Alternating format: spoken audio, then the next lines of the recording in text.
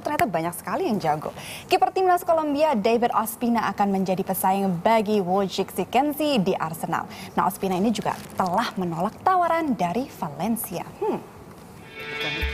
Arsenal telah menyetujui biaya transfer sebesar 3,2 juta euro atau sekitar 63 miliar rupiah untuk mendatangkan kiper klub Nice David Ospina.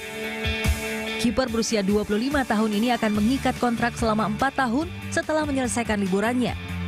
Ospina adalah salah satu dari beberapa kiper yang mengesankan di Piala Dunia. Ia membantu timnas Kolombia hingga ke perempat final melawan tuan rumah Brazil. Arsene Wenger tertarik menggunakan jasa mantan penjaga gawang Atletico Nasional ini dan berharap dapat melihat aksinya dalam laga uji coba melawan New York Red Bulls hari Sabtu besok menggantikan Lukas Fabianski yang akan pindah ke Swansea City. Kedatangan Ospina tentu membuat persaingan di bawah mister gawang klub asal London Utara ini semakin ketat.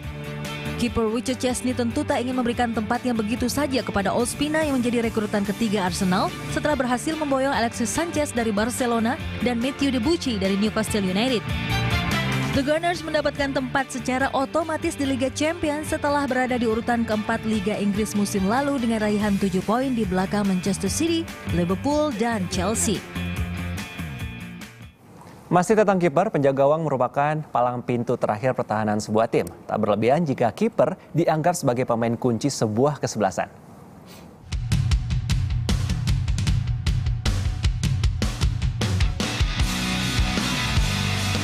Beberapa kiper namanya melegenda berkat kepiawaian dan peran pentingnya baik di klub maupun tim nasionalnya masing-masing. Gianluigi Buffon, salah satu kiper terbaik dunia dari Italia. Saat ini Buffon masih bermain di klub Juventus. Ia kiper utama tim nasional Italia. Prestasi terbaik Buffon adalah mengantar Italia menjuarai Piala Dunia 2006. Ia sudah delapan kali dinobatkan sebagai kiper terbaik Liga Serie A Italia. Buffon dibeli Juventus dari Parma pada tahun 2001. Harga transfer Buffon adalah 32,6 juta euro. Ia pun menjadi kiper termahal di dunia. Buffon menjadi kiper Piala Dunia 2006. Ia hanya kebobolan dua gol dan mencatat lima kali clean sheet.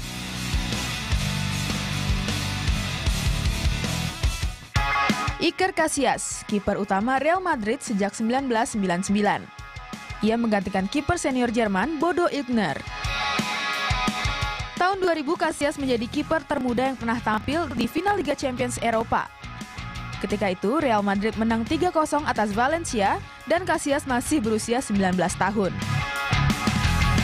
Di musim 2007-2008, Casillas mengantar Real Madrid merebut kembali gelar ke-31 La Liga dan hanya kebobolan 32 gol dalam 36 pertandingan. Pada Februari 2009, Casillas menyamai catatan rekor Paco Buyo yang bermain di 454 pertandingan. Sejak itu Casillas menjadi kiper Real Madrid yang paling sering bermain sepanjang masa. Selama musim 2011-2012, Casillas memenangkan penghargaan kiper terbaik versi IFFHS. Ia adalah penjaga gawang pertama dan satu-satunya yang memenangkan penghargaan itu empat kali. Sayang di Piala Dunia 2014 prestasinya meredup. Ia harus kebobolan 5 gol saat Spanyol berlaga melawan Belanda. Di Piala Dunia 2014, kiper yang prestasinya bersinar adalah Manuel Neuer.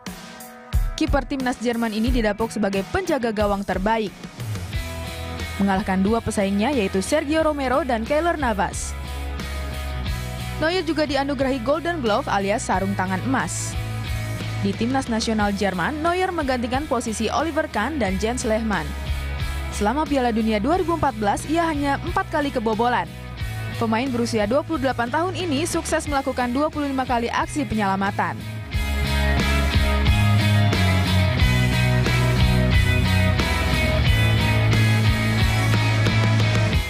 Ya, setuju saya Neuer menjadi kiper terbaik tahun ini karena yes. kemarin dalam satu pertandingan betul menyelamatkan ada 25 kali bola ke, ah, arah gawang. Mm. Kemudian ini adalah penerus dari Oliver Kahn, Aduh, di Jerman sendiri bener. kan. Saya ingat banget tuh zaman 2002 nonton Piala Dunia kalau ngelihat Oliver Kahn tuh dia dinobatkan jadi pemain terbaik juga kan waktu 2002. Emang tuh tatapan matanya kayaknya tajam sekali ya. ya. Elang kayaknya bola ke mana pun dia bisa ngikutin gitu. Itu hebatnya. Nah, Neuer ini juga dipuji-puji pada saat melawan kemarin kemarin Aljazair ya di Aljazair? 16 besar itu juga. Hmm, good one Nur ini. Banyak kiper-kiper yang muncul di Piala Dunia ini salah satunya Tim Howard yang kemarin sempat eh, mendapat ucapan dari Barack Obama Ya. eh iya Barack Obama di telepon salah satu kiper yang tangguh ketika menghadapi Jerman kemudian ada Keylor Navas yang eh, aksi-aksisnya kemudian latihan-latihannya itu pakai bola tenis kemudian akrobatik sampai akhirnya Real Madrid kepincut untuk mendatangkan Keylor Navas. Jadi sebenarnya kalau misalnya dia punya anak nanti, kalau pinter dengan akrobatiknya itu, kalau misalnya dia punya anak terus nggak dapat, kayak ulang tahun nggak dapat badut, jadi bisa melakukan itu sendiri gitu kan. Tapi gula tenis Beda akrobatiknya tuh gerakan. Rahma ya. Oke lah ini masih